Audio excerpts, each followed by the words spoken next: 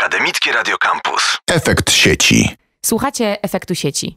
Przy mikrofonie Justyna Pokojska. Szoszana Zubow napisała pewnego razu, że najważniejsze technologie to te, które znikają, wplatają się w tkankę codzienności, aż wreszcie nie da się ich wyróżnić.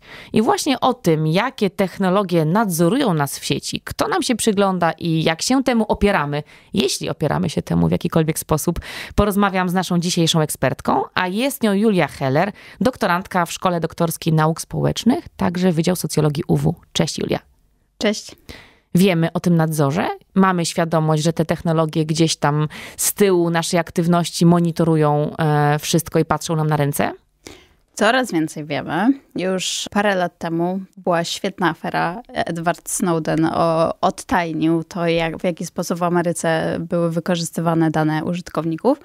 I to wpłynęło na świadomość generalnie całego świata, jak te dane są wykorzystywane i, i tak naprawdę że są wykorzystywane, bo w większości wcześniej byliśmy świadomi tego, że prawda, dostajemy jakieś produkty za darmo, jakieś media społecznościowe, ale nie do końca też wiedzieliśmy, jak ta gra działa i że my coś dajemy, ale to tak naprawdę nie jest do końca za darmo i, i nie byliśmy jako użytkownicy tego świadomi. Teraz zdecydowanie ta świadomość wzrasta. Z jednej strony właśnie różne afery pomagają, a ale też e, po prostu legislacja. Tak jak na przykład Unia Europejska ze sławnym RODO, i teraz już też Stany Zjednoczone powoli przyglądają się temu, w jaki sposób chronić e, prywatność użytkowników i w jaki sposób można wykorzystywać te dane, i też oczywiście uświadamiać nas, że te dane będą w procesie wykorzystywane. A czy ta świadomość, y, no, mówi, że jest powszechna. Ja nie wiem, czy wszyscy wiemy aż tyle o tym, że, że jest to wykorzystywane, ale czy ta świadomość przekłada się na nasze postawy w jakiś sposób? Czy to jest tak, że jak już afera ze Snowdenem wybuchła i wiemy, że nasze dane nie są nasze, to na przykład wypisujemy się masowo z Facebooka albo z innych mediów? Czy, czy tak po prostu przyjmujemy do wiadomości, że gramy w tę grę i ona od nas wymaga pewnych poświęceń? No bo pewnie non plus ultra nie ma trzeciej drogi w tej, w tej historii o akceptacji takich reguł gry, skoro nie my je y, tworzymy. Dokładnie tak. I w sumie to, co powiedziałaś, to, to te, tego rodzaju strategie występują. Jeżeli chodzi o badania, to ta świadomość jest naprawdę już wysoka, bo ona jest powyżej 80% e, użytkowników w różnego rodzaju sondażach przeprowadzanych przez GUS czy Eurostat e, występuje, więc ona jest naprawdę całkiem spora. Oczywiście Zadowalająca, nie na pewno. wszyscy, tak, wiadomo, tak, ale tak. Jednak, e, jednak mamy świadomość tego, że te dane są wykorzystywane i różne strategie właśnie są przyjmowane, ale tak jak świat internetu, tak też te, te, róż, te różne strategie, naprawdę mamy wielki wachlarz możliwości i każdy przez to, że, że właśnie jesteśmy tak naprawdę my w tym internecie jesteśmy no, jakby każdy z nas użytkuje inter, internet. W ogóle to tak dziwnie brzmi, tak, że nie, nie ma czegoś takiego jak użytkowanie internetu. No, są różnego rodzaju, prawda, aplikacje, są różnego rodzaju, e, nie wiem, sposoby też e, firm na właśnie zbieranie tych danych, więc to. Mm,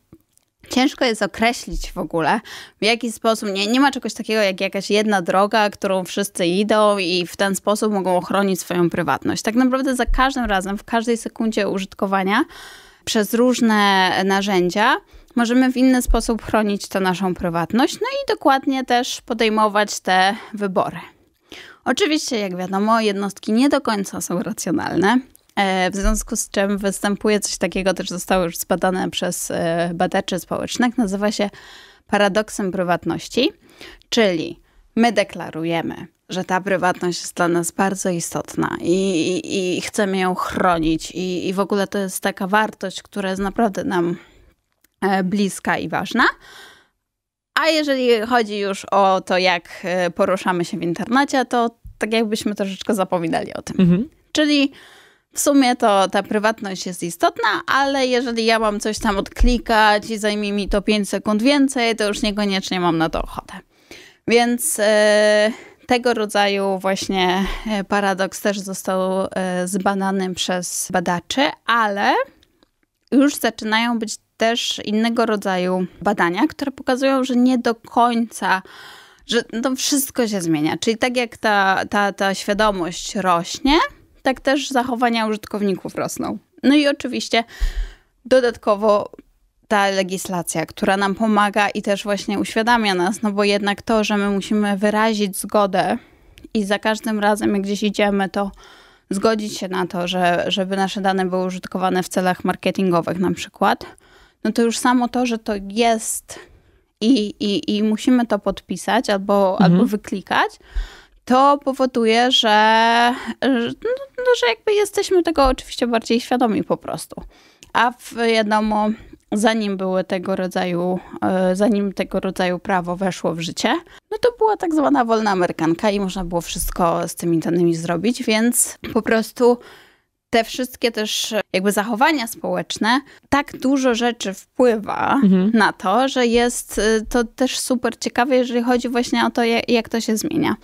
I tak samo jak internet się zmienia, prawda? Mamy różnego rodzaju nowe narzędzia, mamy, inne, mamy inaczej użytkujemy w ogóle i inaczej jesteśmy przyzwyczajeni do tego. To, że mamy telefony w jakby cały czas podczas naszej drogi i to, czy właśnie na przykład zdecydujemy, że wyłączamy go, geolokalizację w naszych telefonach lub nie, czy to, że na przykład, że otworzymy mapy i od razu wiemy, gdzie jesteśmy, jest dla nas istotniejsze niż to, że dana firma dokładnie Będzie wie, wiedziała, jak... co robimy, jak i gdzie. Dokładnie. To ja mam pytanie, jakby krok wstecz, zanim przejdziemy do wyników e, Twoich badań, które przygotowujesz w ramach rozprawy.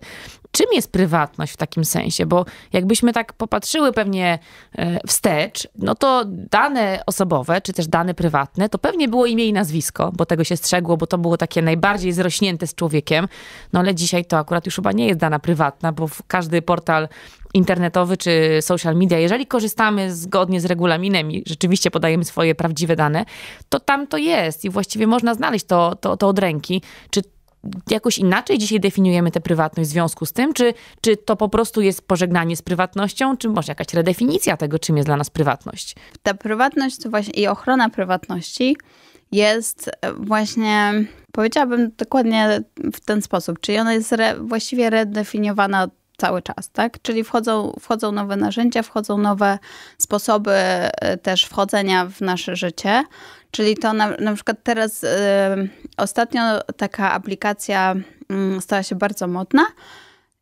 Ona powoduje, że jakby jest odwróceniem tego, czym jest Facebook i Instagram, bo jest wszystko bez filtrów, zdjęcia muszą pojawić się w dwie minuty, po tym, jak ta aplikacja nam powiedziała, że teraz y, robimy zdjęcia.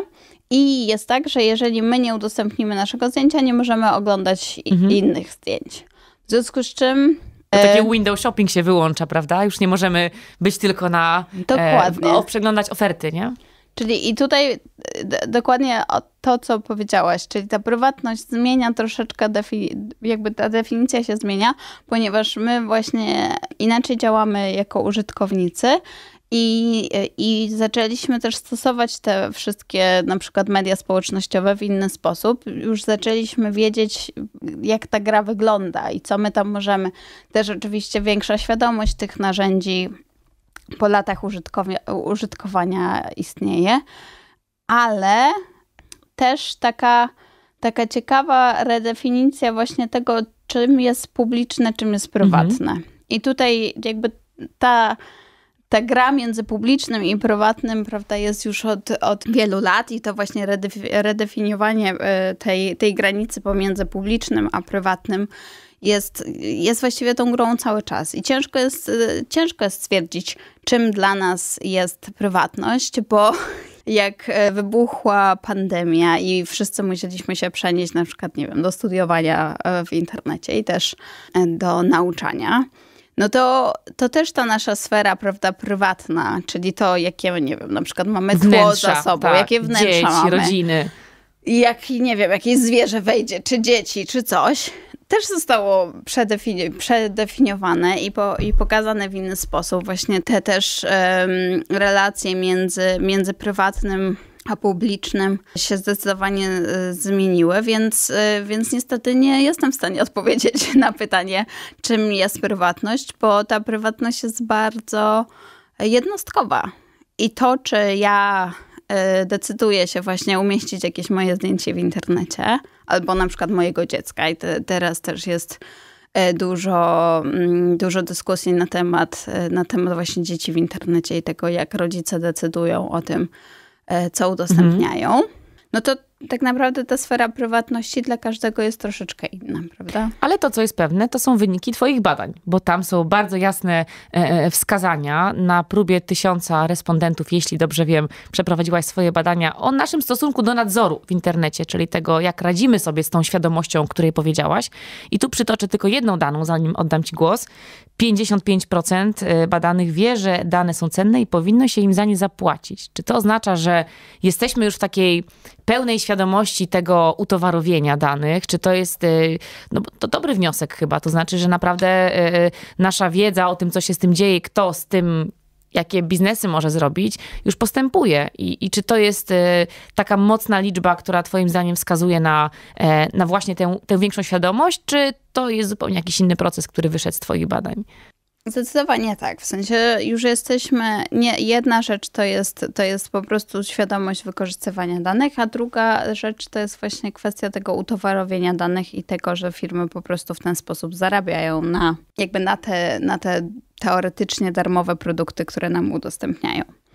I co ciekawe, to ja właśnie w moich badaniach pytałam głównie o działania ludzi w internecie. Czyli, czyli pytałam konkretnie, jakiego rodzaju dane e, oni udostępniają, w jaki sposób, czy to są na przykład właśnie media społecznościowe, czy, czy nie wiem, domeny publiczne.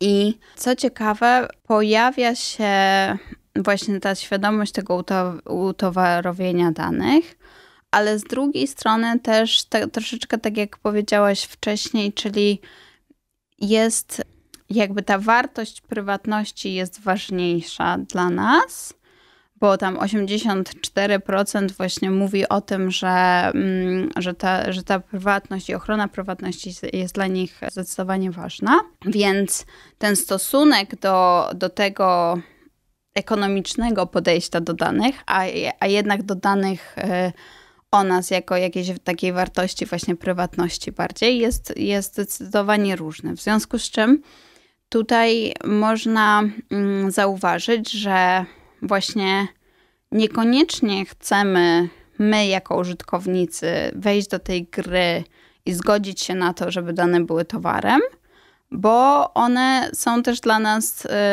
wartością. wartością. To co robią ludzie, mówiąc już bardzo bezpośrednio? Bo mamy już świadomość, wiemy, że dzieją się tam procesy y, jak w czarnej skrzynce, wiemy, że to jest też biznes, więc nasze dane są wartością, którą ktoś obraca i pewnie czerpie zyski. A zatem jakie są strategie e, użytkowników na to, żeby poradzić sobie z tą sytuacją napięcia? Jest pełen wachlarz e, strategii użytkowników. Po, od e, takich świadomych właśnie użytkowników, którzy też mają wysokie kompetencje cyfrowe, to są użytkownicy, którzy na przykład wiedzą o alternatywnych narzędziach albo wiedzą o tym, jak zacierać swój ślad w internecie i stosują do tego narzędzia takie jak na przykład VPN albo e, też osoby, które po prostu blokują, używają adblocka i blokują reklamy.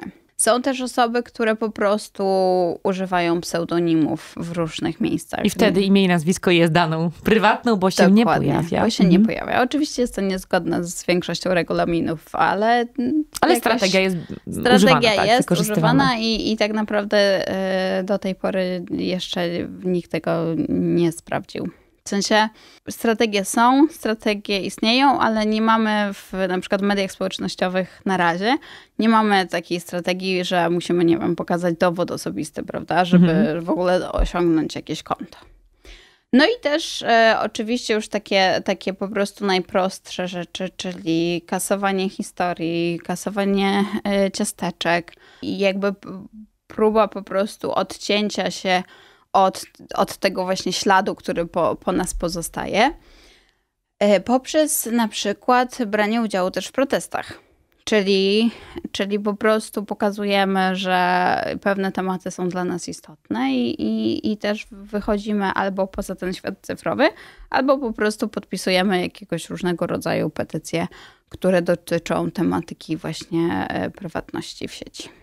Tylko 1% ludzi nie podejmuje żadnych działań? Tak wyszło z Twoich badań? Tak wyszło dokładnie z moich badań. Czyli można przyjąć, że, że naprawdę te, te strategie tego zacierania śladu są wszechobecne, w związku z czym też takie podejście niektórych, że naprawdę możemy wyczytać z tych danych właściwie nasze ży życie rzeczywiste.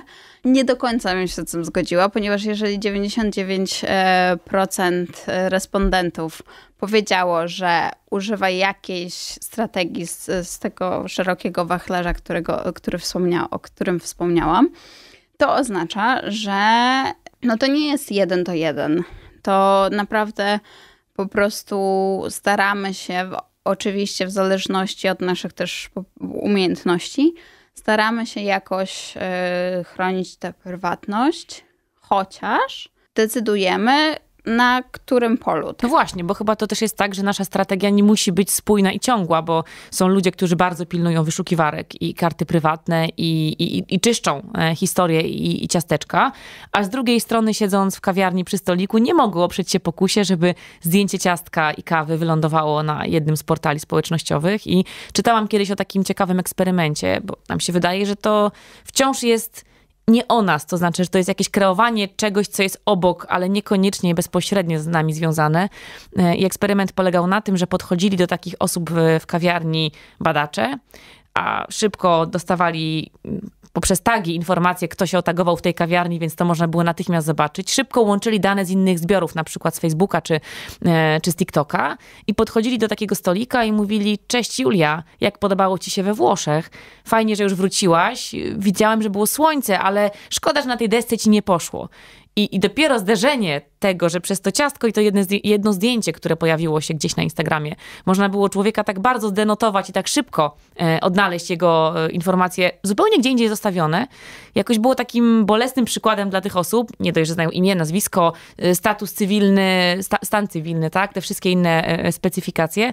No i przez takie zwykłe ciastko można się było wysypać, więc być może to też jest tak, że my nie mamy właśnie takiej spójnej strategii, że są takie małe pokusy, w których jako użytkownicy gdzieś tam ulegamy, versus głoszenie świadomości tego, że to jest bardzo złe i niebezpieczne. Czy to też było widać u ciebie w badaniach, że ta konsekwencja jest umiarkowana, mówiąc delikatnie?